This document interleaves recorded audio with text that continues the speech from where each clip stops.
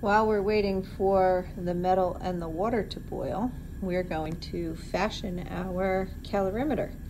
A calorimeter can be any device that's insulated, like this styrofoam cup.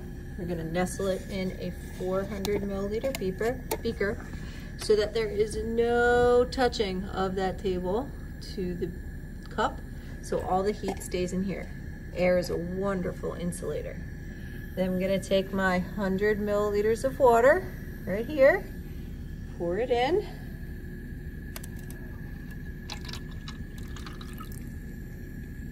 And even though it looks simple, something as easy as a index card lid will be plenty. All right, and then I can take my digital thermometer and it'll take the initial temperature of the water right before we end up taking and putting our metal in there.